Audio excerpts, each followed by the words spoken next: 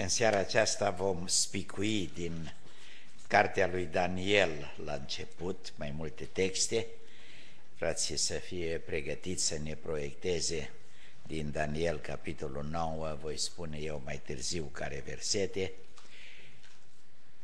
Ceea ce vă voi spune în seara aceasta, la început pare la foarte distant, dar veți vedea cum vom veni tare aproape de fiecare dintre noi.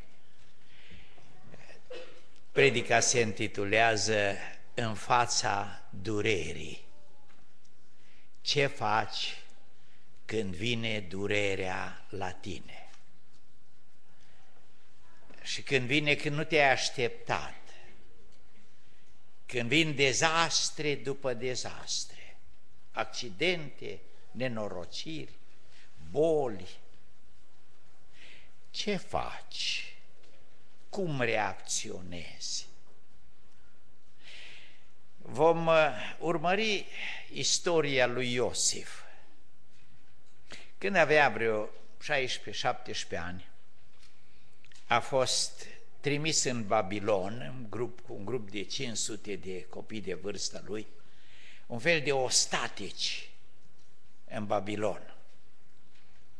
Știți povestea lor acolo în Babilon, au intrat la școala regească, dar nu după multă vreme acasă a fost revoltă, Nebucadnețar s-a dus și a distrus toată țara, a distrus Ierusalimul, a distrus templu și a adus țara în robie au fost niște scene care noi nu ni le mai putem imagina astăzi.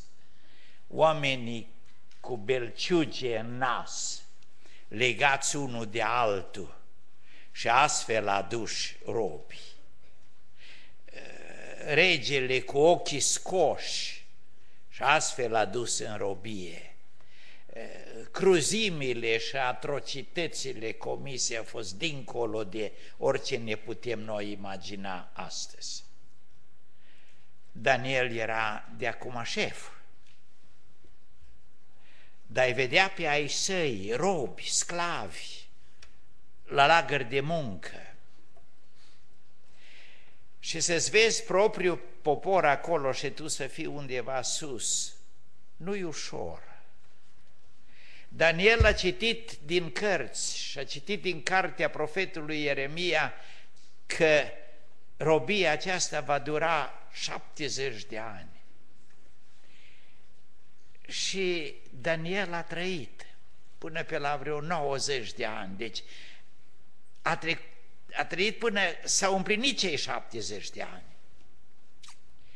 Și tocmai înainte de a se împlini acei 70 de ani, gândiți-vă că Daniel aștepta că după 70 de ani să fie eliberați, să se ducă să-și reclădească țara, să se reia istoria glorioasă a lui Israel. Și când colo, din capitolul 7, citim că Daniel a început să aibă niște vedenii. Fiare care se ridică una după alta și îi se spune astea sunt împărății. Împărăția mezilor, împărăția perșilor, împărăția grecilor, una mai fioroasă decât alta. Și l-a văzut pe Mesia, în capitolul 7, acela care îi se va da stăpânire peste toate. Da, sfinții lui vor fi zdrobiți. ce e asta? Și în capitolul 8, iarăși, alte vedenii mai monstruoase. Daniel s-a bucat pe postit și pe rugăciune. Doamne, ce e asta? Eu așteptam izbăvire și glorie și tu mereți numai nenorociri. Și a chemat lumea la post și rugăciune și s-a rugat el și a postit și apoi se roagă rugăciunea aceea de pocăință din capitolul 9. Citiți-o ca un model de rugăciune de pocăință și atât de frumos e acolo în versetul 17 și 18. El spune, Doamne, dacă ar fi după dreptate, ar fi vai de noi, că noi merităm numai pedeapsă. Dar Tu ne iubești și Tu ești bun. Eu apelez la dragostea Ta și la bunătatea Ta, la îndurarea Ta. Ai milă de noi, Doamne!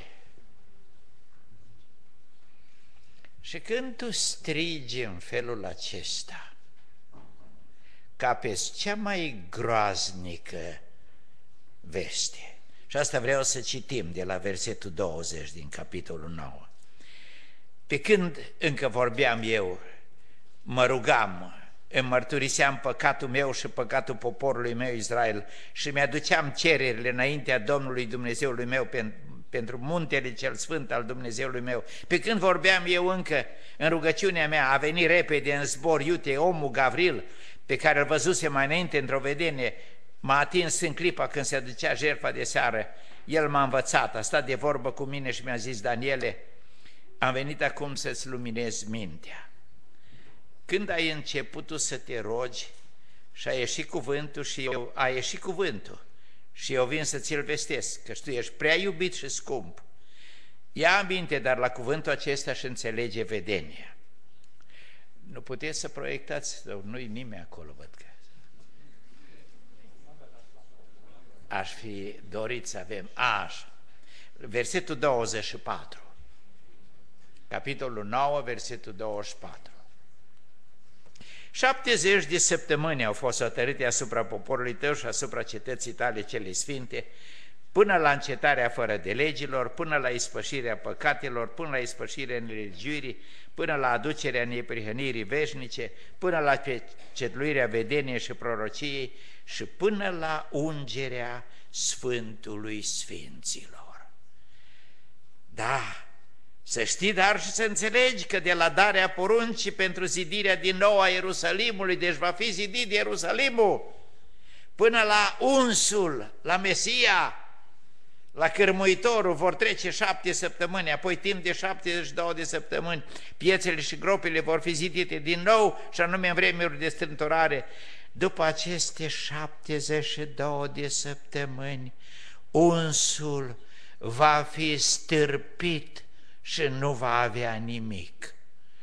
Adică și Mesia va fi omorât. Poporul unui domn care va veni va nimici cetatea și locașul sfânt și sfârșitul lui va fi printr-un potop. Este hotărât că războiul va ține până la sfârșit și împreună cu el pustiirile. Doamne ferește! În uh, capitolul 10 mai are un covedenie, tot de felul ăsta, și apoi în versetul 8.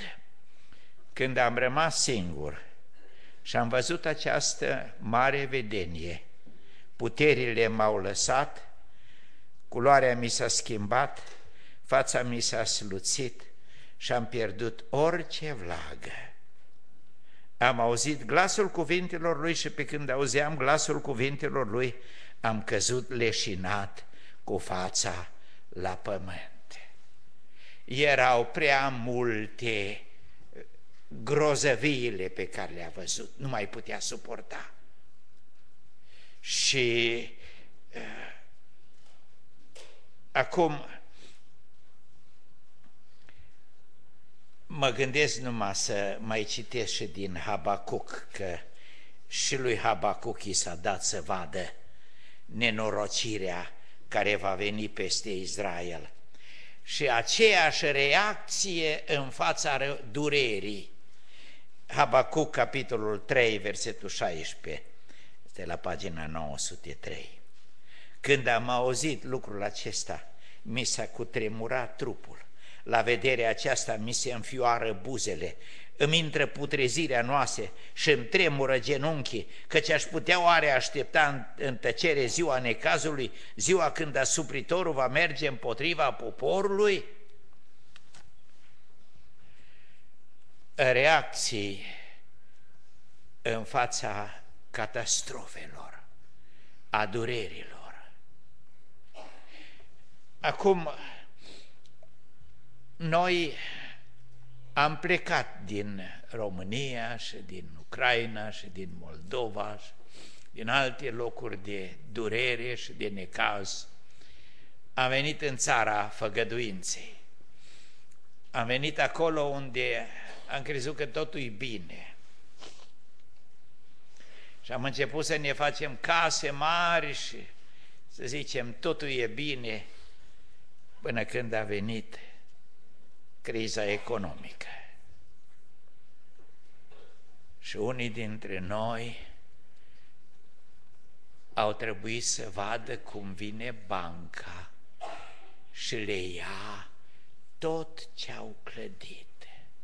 Am fost într-una din cele mai frumoase case construite de cineva dintre noi. Și casa aceea la scurtă vreme după ce am fost în ea, au trebuit să o predea. Groaznic.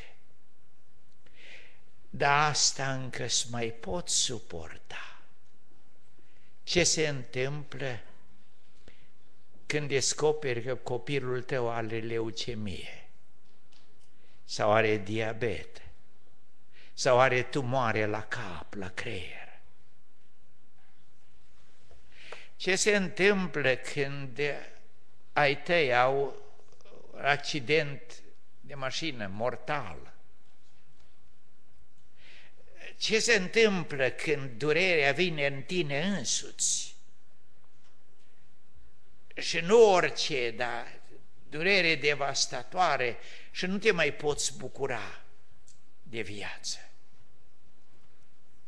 Ce facem în fața durerii?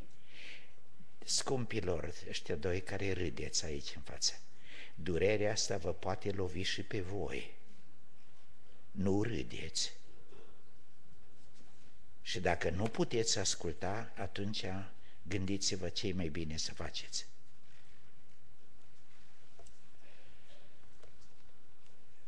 Durerea, dezastrul pot veni peste fiecare dintre noi ce facem?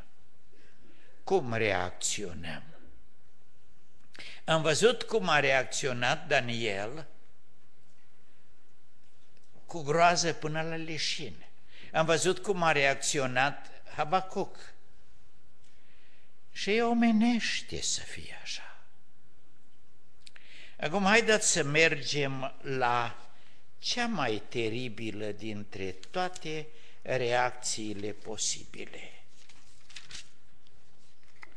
Un om care era om, dar era și Dumnezeu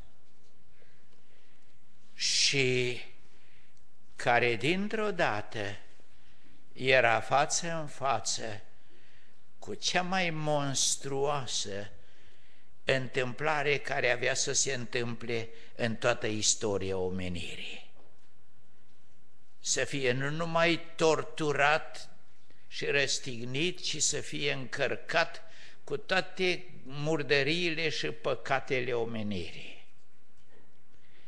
Atunci Iisus a zis, sufletul meu este cuprins de o întristare de moarte. Rămâneți aici și vegheați împreună cu mine. Apoi a mers puțin mai înainte, a căzut cu fața la pământ și s-a rugat zicând, Tată, dacă este cu putință, depărtează de la mine paharul acesta. Totuși, nu cum vreau eu, ci cum vrei tu. Apoi a venit la ucenici, a găsit dormind și a zis lui Petru, ce?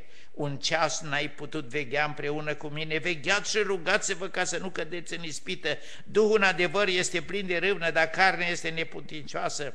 S-a dus a doua oară și s-a rugat zicând, Tată, dacă nu se poate să se depărteze de la mine paharul acesta, fără să beau, facă-se voia ta.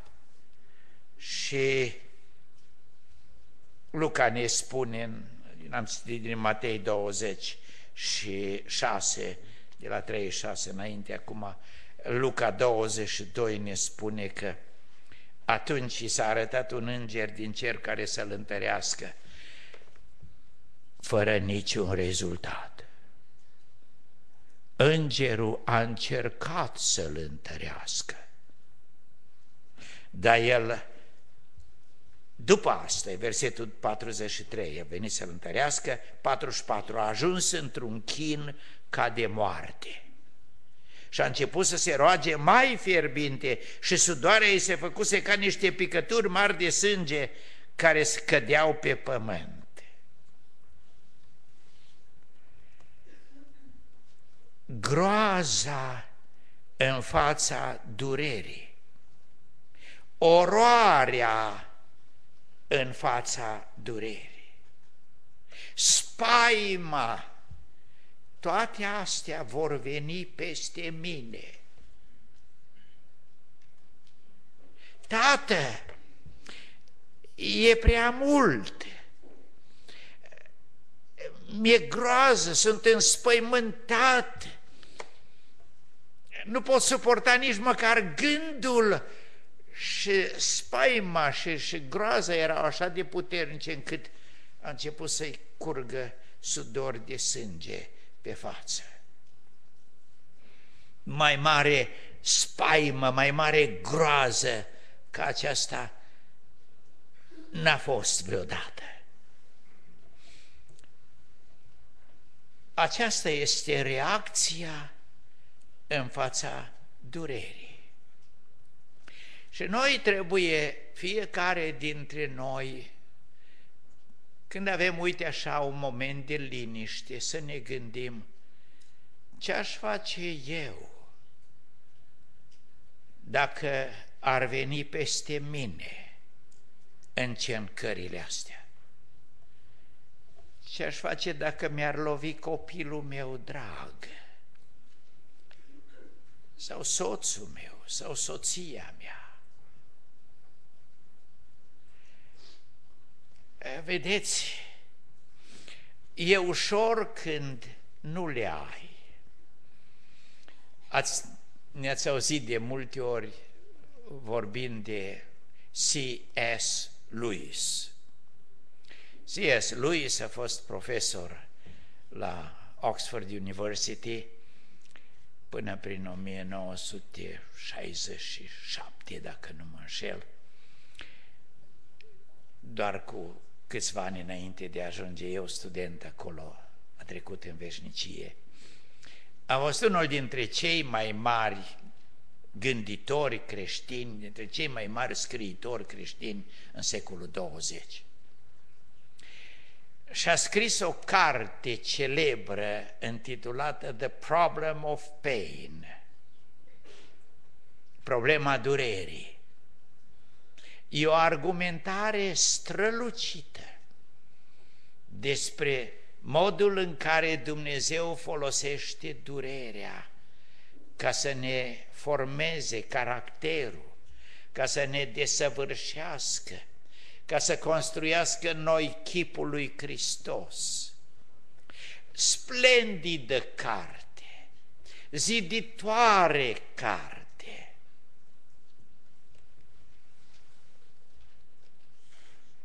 dar totul era teoretic, totul era filozofic.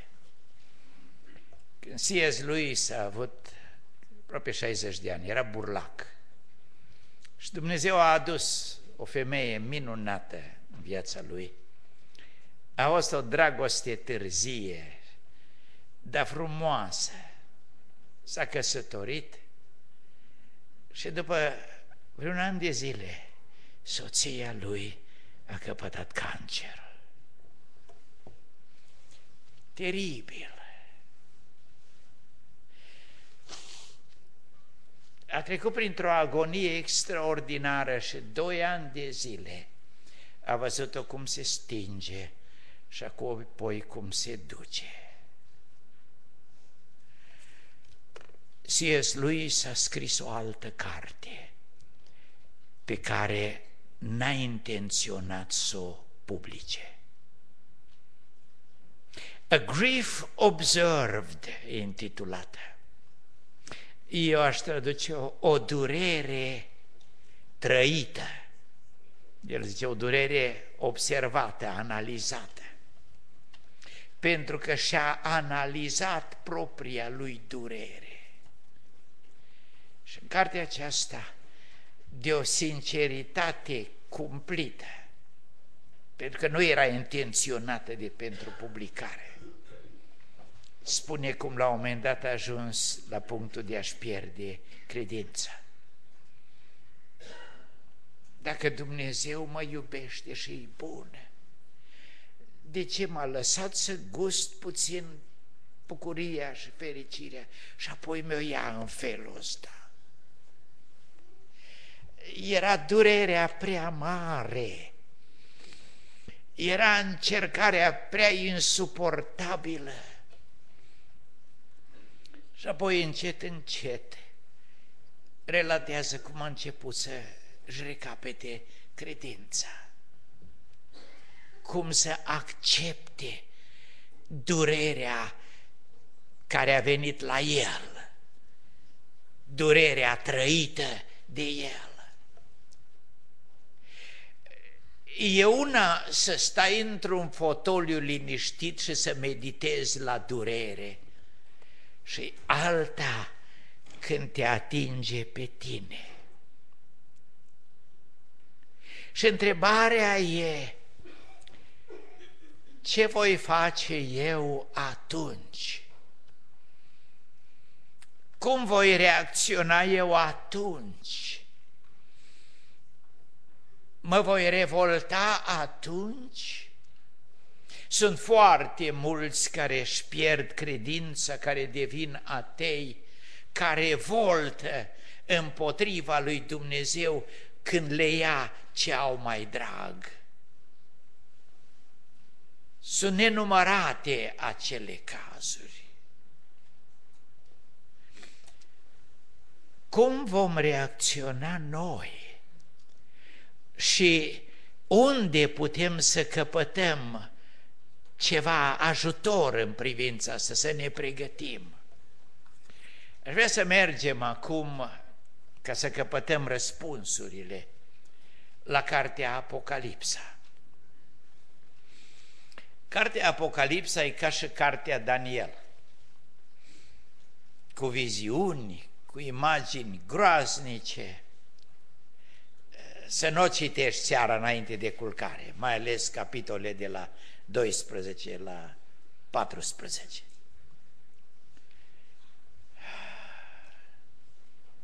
Cartea aceasta, ca și cartea Daniel, are mii de interpretări. Și eu vă dau sfatul, nu citiți cartea Daniel și cartea Apocalipsa ca să vedeți în ea calendar de evenimente. Nu citiți într-o mână și cu ziarul în altă și să ziceți asta e asta și asta e asta, că totdeauna vă veți înșela.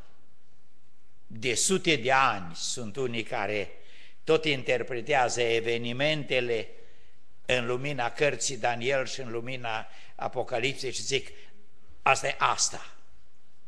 This is this, this is that.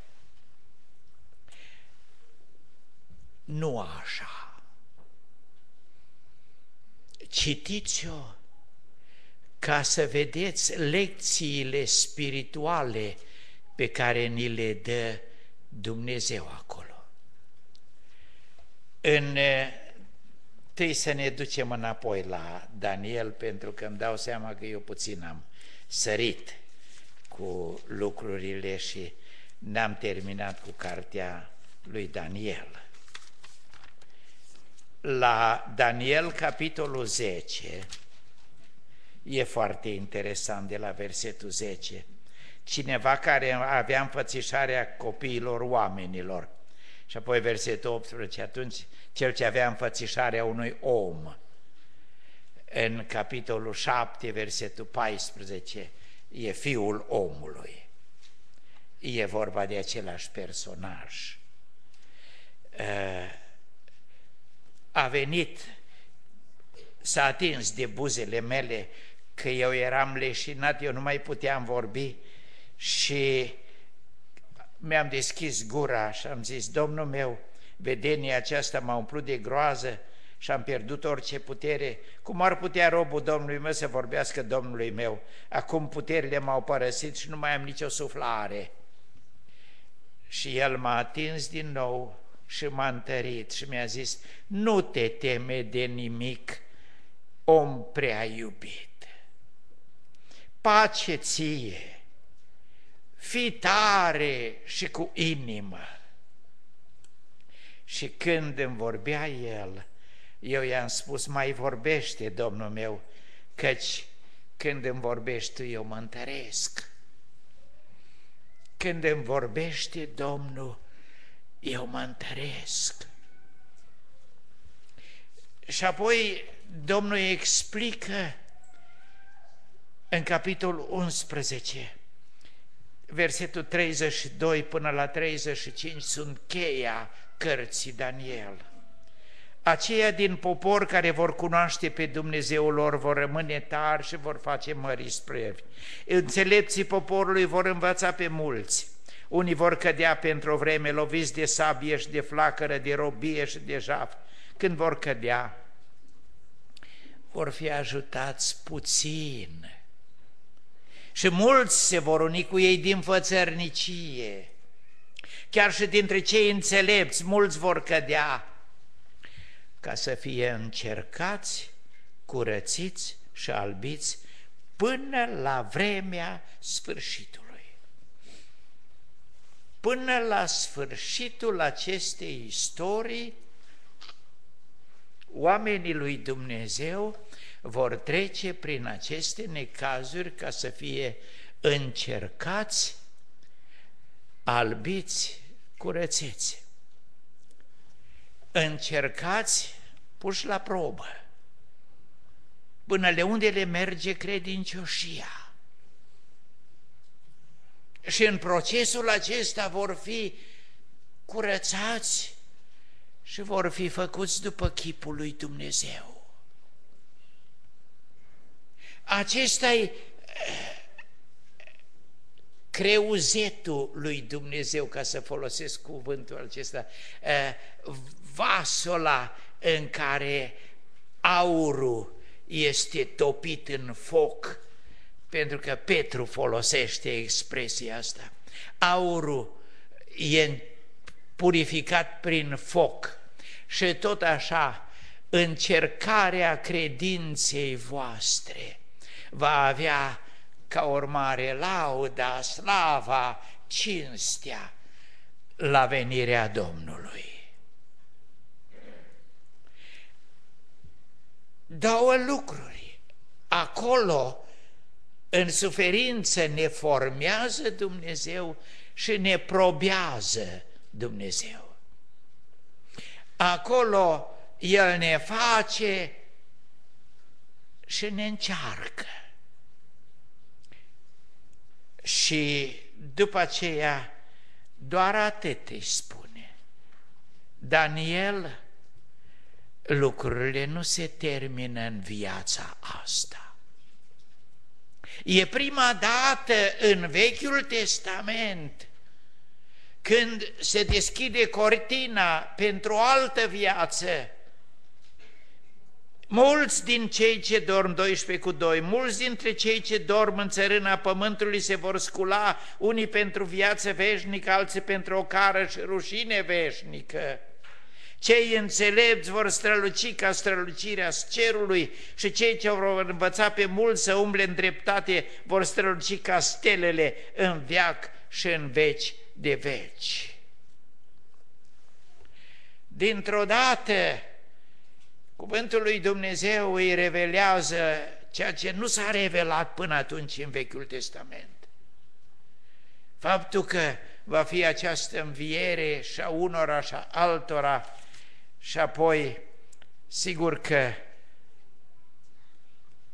iarăși continuă, mulți vor fi curățați, albiți și lămuriți, cei ce vor face rău și uh, vor continua să facă răul. Și ultimul verset, iar tu du-te până va veni sfârșitul.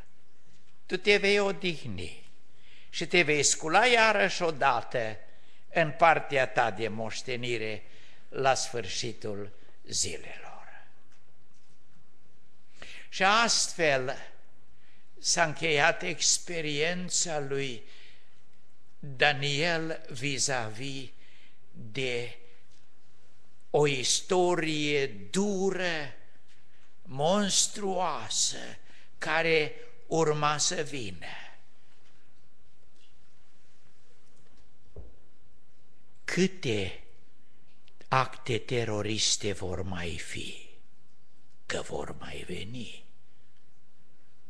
Câte alte nenorociri se vor mai abate peste America? Câte alte crize economice, ce că unii zic că asta a fost numai un fel de preludiu la adevărata criză economică.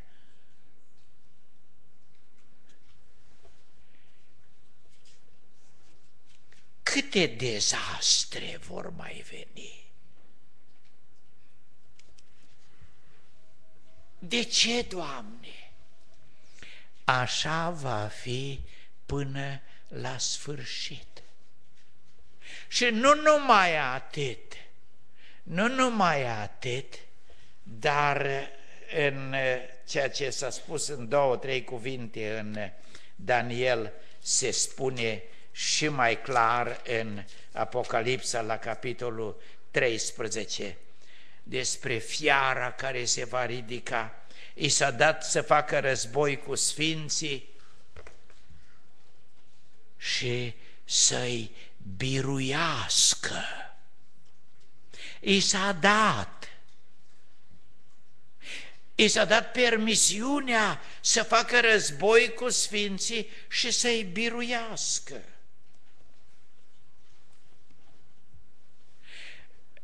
Ce asta, Doamne? Eu am crezut că dacă viu la Tine, așa ceva nu o să mi se mai întâmple.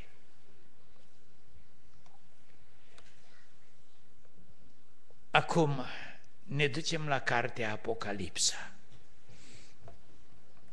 Ioan Apostolul care a scris-o a avut vedeniile despre calamitățile acestea. Începuse persecuția lui Nero. Era groasnică. Mii de creștini au fost arși atunci pe rug, decapitați, torturați monstruos. Ioan era păstor la șapte biserici din Asia Mică. Și acolo începuseră deja să fie unii uciși pentru Domnul Isus. Întrebare care și-o puneau toți. Frate Ioane, frate păstor, ne-ai spus că Domnul Isus e pe tronul lui Dumnezeu. Ne-ai spus că El conduce istoria. Că el e la cârmă. Frate Ioan, acum când ai lui sunt măcelăriți în felul ăsta, unde-i Hristos? Toată cartea Apocalipsa e scrisă ca răspuns la această întrebare dureroasă și ca o învățătură. Cum să primim catastrofele care vin asupra noastră, nenorocirile, dezastrele. unde e Isus? Am văzut șapte sfeșnice, care au șapte biserici, care trec prin persecuție. Și în mijlocul lor, pe unul care semăna cu Fiul omului, adică tot pe Domnul Isus. Unde-i Domnul Isus? În mijlocul bisericilor. Mijlocul aici poate fi tradus și în sânul bisericilor, în interiorul bisericilor, în cei credincioși. Pentru că ori de câte ori ați făcut aceste lucruri acestor micuței mei, mie mi le-ați făcut. Saule, Saule, de ce mă prigonești? Pentru că când îi prigonești pe ei, pe mine mă prigonești.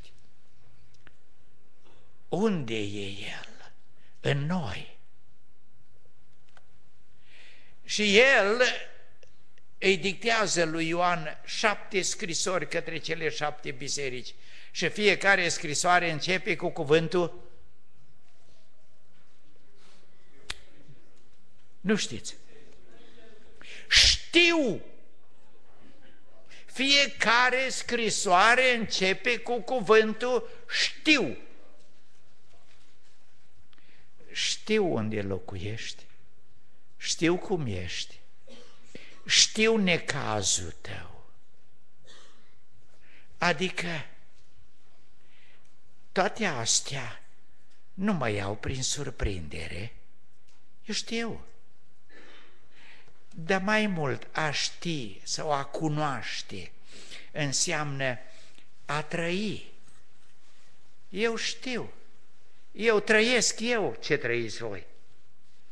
Eu cunosc pentru că sunt una cu voi. Tot ce trăiți voi cunosc eu în sensul că trăiesc împreună cu voi. Iată de la început răspunsul la întrebările chinuitoare. Și apoi, cum sfârșește fiecare scrisoare? Cu o promisiune făcută celui ce va birui. Intrăm într-un război cu răul răul se dezlănțuie peste noi. Și Dumnezeu i-a dat libertate. De ce? Pentru că acolo ne formează după chipul Lui și acolo ne pune la încercare pentru că suntem noi într-un război cu cel rău și noi trebuie să-l biruim pe cel rău.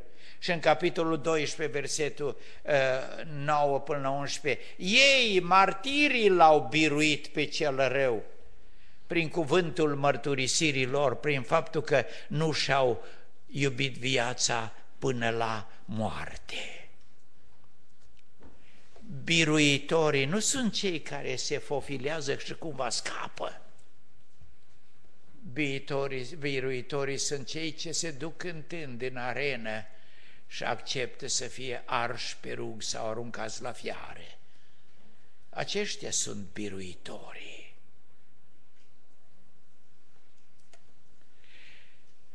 Acum, mai e ceva tare, tare important în capitolul 21 și 22 se dezvoltă ceea ce s-a anunțat prin Daniel. Istoria nu-i numai asta. Adevărata istorie începe când Domnul Isus va face cer nou și pământ nou. Și auziți, El va locui cu ei și vor fi poporul lui și Dumnezeu însuși va fi cu ei. El va șterge orice lacrimă din ochii lor și moartea nu va mai fi, nu va mai fi nici tânguire, nici țipăt, nici durere, pentru că lucrurile din tâi au trecut. Abia atunci nu va mai fi durere, nu va mai fi boală, nu vor mai fi lacrimi. Abia atunci, dincolo, în noua viață, pe noul pământ. Și imediat, în versetul 8, 21, ne se spune cine nu va fi acolo. Noi am așteptat că în, lipsa, în lista asta apare și uh, curvarii, ucigașii, vrăjitorii, închinătorii la idoli, mincinoșii. Dar nu cu astea începe lista. Lista începe cu fricoșii și necredincioșii. Haideți să stabilim puțin. Frica în sensul de groaza de ce va veni când va veni încercarea peste mine. Frica aceea e normală. A trăit-o și Fiul lui Dumnezeu. Spaima aia de moarte, groaznic. Tată, nu se poate fără asta sudor de sânge, de groază. Asta e frica de durere. Frica în sine nu e păcat. Astea însă sunt legate la oaltă, frica și necredincioșia. Frica care te face să trădezi, să fugi, să dezertezi. Fricoșii care s-au zis, s-au zis, domnule, eu mai bine mă închin fiarei, mă închin împăratului, cui o fi, nu mă, nu mă treceți, domnule, prin torturi. Eu nu pot suporta. Fricoșii care ajung la necredincioșie. Acum, țineți cont, deci, fricoșe și necredincioși. Acum întoarceți, vă rog, înapoi la Apocalipsa, la capitolul 2, versetul 10. Nu te teme nici de cum de ce aici să suferi. Iată că diavolul are să arunce în temniță pe unii dintre voi ca să vă încerce Fii și vei avea un necaz de zece zile. Fii credincios până la moarte și îți voi da cununa vieții. Observați cuvintele frică și nu te teme nici de cum, ci fii credincios în 21 cu 8, fricoși și necredincioși. Aici, frica de a fi credincios până la moarte. În casa în care am crescut ca și copil, în camera de zi, care seara era dormitor. Pe peretele principal erau cuvintele, fi credincios până la moarte și îți voi da cununa vieții.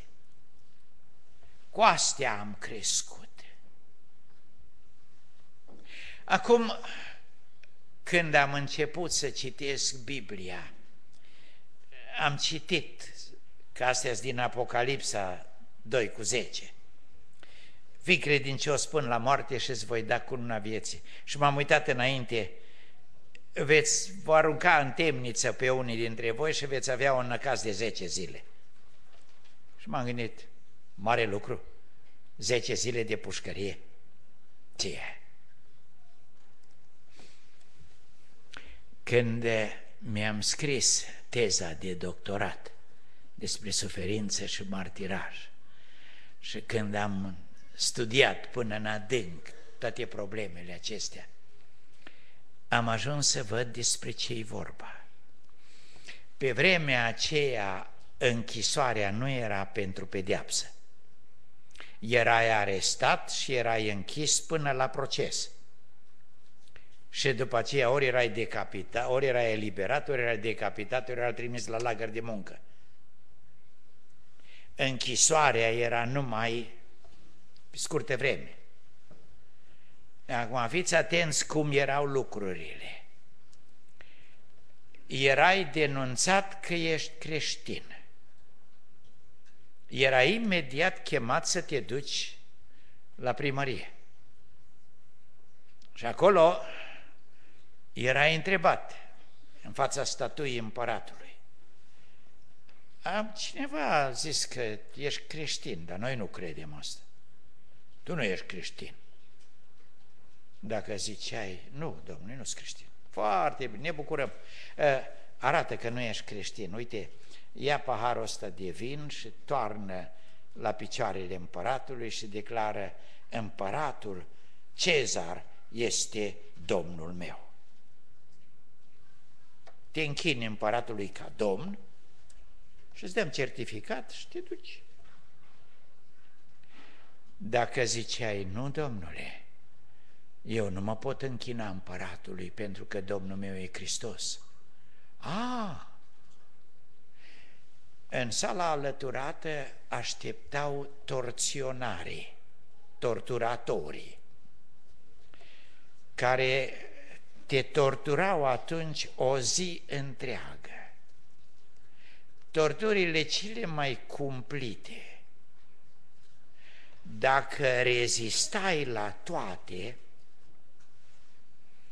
erai aruncat în temniță pe 10 zile până la două săptămâni ca să ți se vindece rănile exterioare și apoi să fii dus în arenă, să fii aruncat la fiare sau să fii răstignit sau fi decapitat, forma de uh, execuție care ți era hotărâtă. Când cei din uh, uh Smirna care au primit scrisoarea asta. Vei fi aruncat în închisoare pe 10 zile. Oh, deci vom fi torturați. Da, fiți credincioși și în tortură și fiți credincioși și când veți fi duși în arenă până la moarte. fiți credincioși până la capăt. Cel ce va birui prin moarte va căpăta cununa vieții. Celui ce va birui îi voi da să șadă cu mine pe scaunul meu de domnie, așa cum și eu am biruit prin cruce și tata mi-a dat să șed cu el pe scaunul lui de domnie. Voi treceți prin ce am trecut eu și voi veți birui cum am biruit eu, prin tortură și moarte. Dar de unde știu că voi suporta? Din două lucruri. Unu, să știi că eu sunt în tine și când te bate pe tine, mă bate pe mine și suferința ta eu o rabd. Și al doilea, pentru că eu sunt în tine, eu îți dau puterea necesară. Prezența mea în tine și prezența Duhului Sfânt în tine e cea care te face capabil să treci prin încercare. Încă un lucru, fără de care n-ar fi complet toată asta. Iov. Iov care nu știa de ce sufere. Nu știa că a fost o discuție în cer între diavolul și Dumnezeu. Dumnezeu a spus, am pe pământ un om perfect. E adevărat, a zis diavolul, că e drept. Dar de ce e drept? Pentru că i-ai dat toate bogățiile Americii și el crede în prosperity gospel. Normal, dacă i-ai dat de toate, ți se închină. De auzi, Doamne, ia tot ce i-ai dat și te va blestema. Pentru că tu n-ai acolo oameni care să ți se închine numai de dragul tău. Ei ți se închină pentru că le dai bunuri. Dintr-o dată în joc era onoarea lui Dumnezeu. Tot cerul vrea să știe cine are dreptate, Dumnezeu sau diavolul. Și Dumnezeu a zis, e un singur mod în care putem afla. Du-te și ei tot ce are. Și noi ne vom uita la buzele lui. Și când toate ei s-au luat, și cei zece copii și toată averea, el a început comentariu. Domnul a dat, Domnul a luat, numele Domnului și diavolul a prezit că va zice, fie bine blestemat. Dar Iov a zis, fie binecuvântat. Și tot cerul a aprobat și a aplaudat. Dar diavolul a fugit sus înapoi și zice, stați, stați puțin, nu v-ați atins de trupul lui? dă Doamne, o durere atât de cumplită, dar așa, până în măduva oaselor și atunci te va blestema. Bine, dă-i-o și pe asta, dar nu te atinge de viața lui. De fiecare dată îi pune margine. În durerea aceea cumplită vin cei trei sfătuitori cu filozofia asta. Dacă ești bun, Dumnezeu îți dă bogății. Dacă ești necredincios, Dumnezeu ți le ia. Dacă ești păcătos, ți le ia. Iov, ai păcătuit ceva? N-am păcătuit. Sunt curat. Eu nu știu ce are Dumnezeu cu mine, dar auziți, indiferent ce are Dumnezeu cu mine și dacă mă va ucide, eu tot îl voi lăuda. Atunci tot cerul a aplaudat. Și satana a trebuit să fugă de acolo rușinat, pentru că Iov i-a dat lui Dumnezeu o biruință extraordinară. Iov n-a știut de ce sufere. El n-a știut că prin suferința lui el îi dă lui Dumnezeu o biruință să vadă tot cosmosul. Apropo de asta, în 1 Corinteni 4 cu 9, Pavel folosește imaginea asta și zice, noi care mergem la torturi și la moarte, suntem un spectacol și pentru îngeri și pentru oameni. Nu n-a adăugat ca Iov.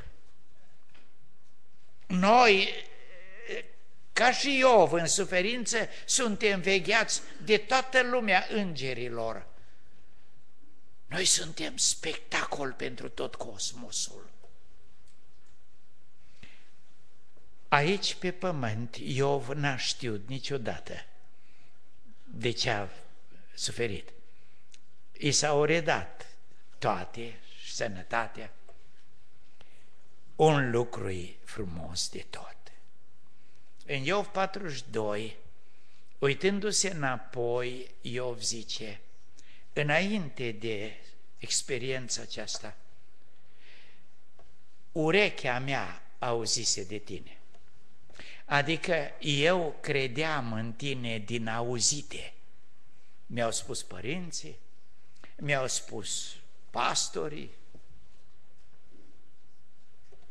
în suferință ochii mei te-au văzut. În sensul, acolo mi-ai devenit real. Acolo în suferință, dintr-o dată am simțit Dumnezeu e aici cu mine și El sufere în mine și prin mine.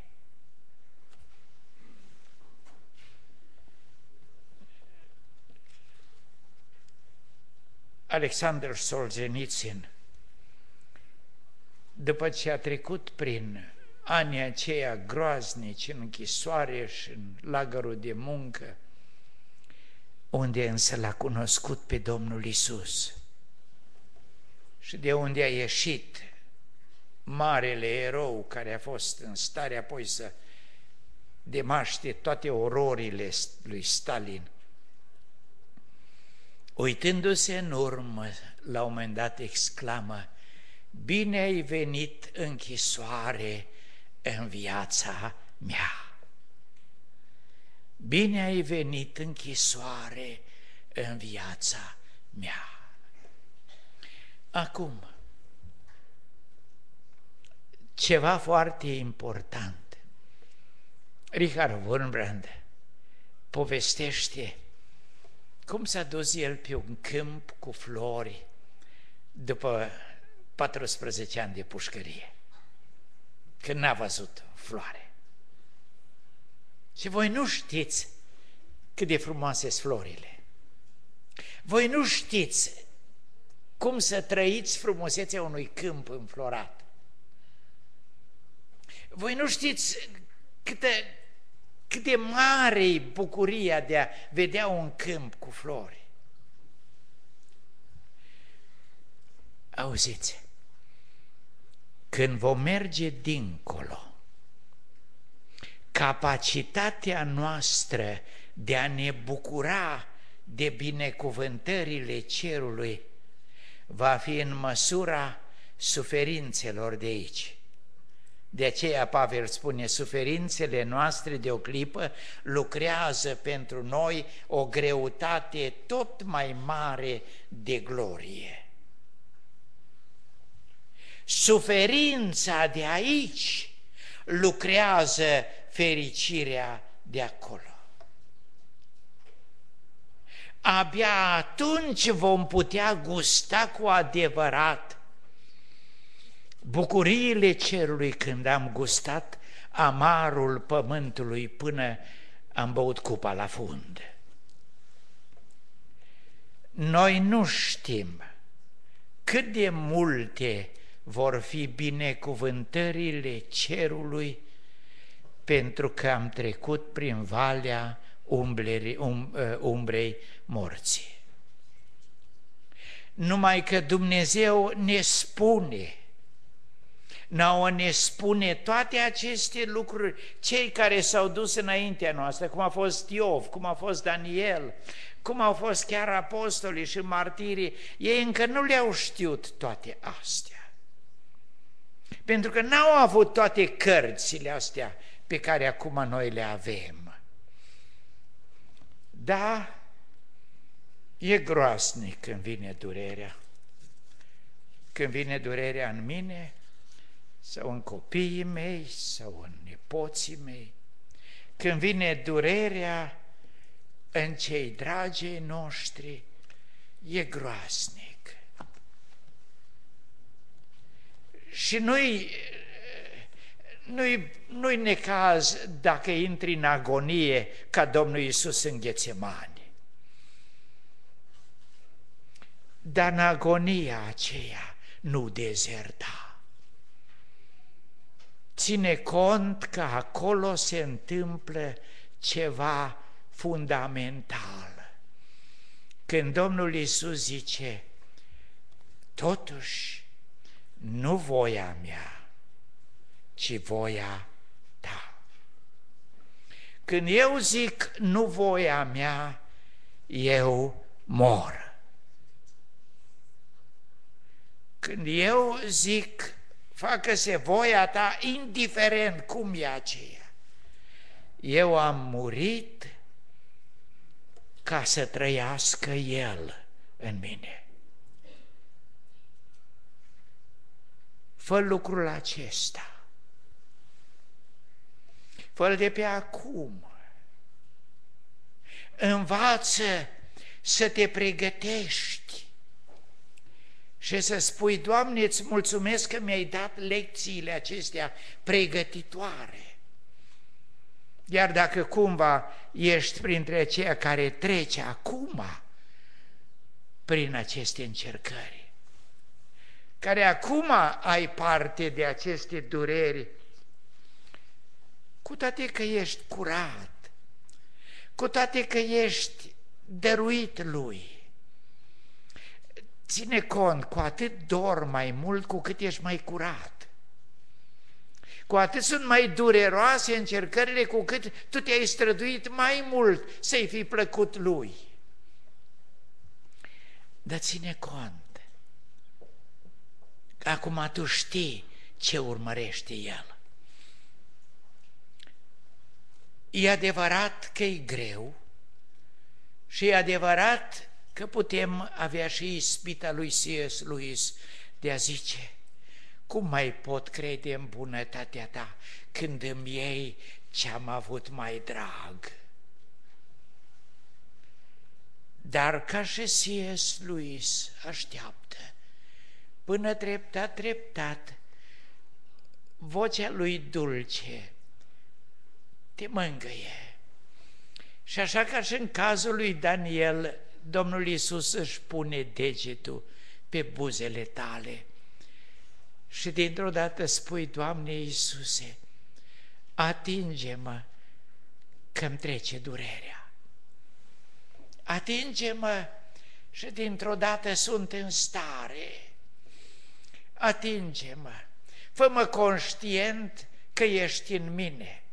Fă-mă conștient că Tu trăiești toate astea în mine și fă-mă conștient că prin toate mă pregătești ca să împarți cu mine gloria cerului.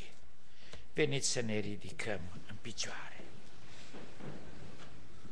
să plecăm capul înaintea Lui.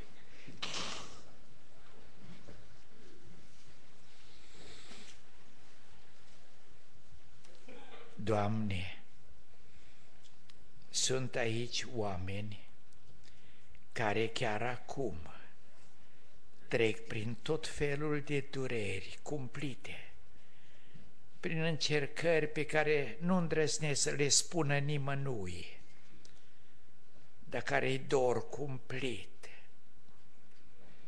Și sunt aici unii care vor trece mâine sau în săptămânile care vin sau în anii care vin prin valea umbrei morții. Doamne, mulțumim că nu ne lași fără să ne înveți, fără să ne spui cât de bun ești Tu, chiar și atunci când pe noi ne doare. Și când ne spui că pe tine te doare înmiit mai mult decât pe noi, cu cât ești mai mare ca noi, cu atât e durerea ta mai mare decât a noastră. Doamne, durerea noastră te doare pe tine.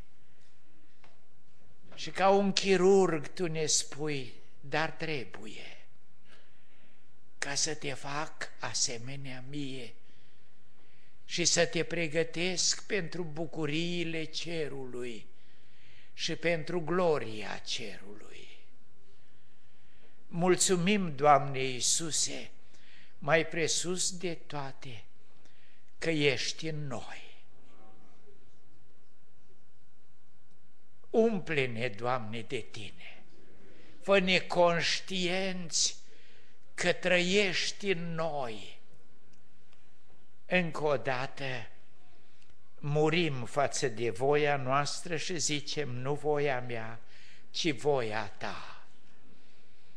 Murim ca să trăim. Dă-ne, Doamne, capacitatea aceasta de a merge înainte zicând, nu cum vreau eu, ci cum vrei Tu.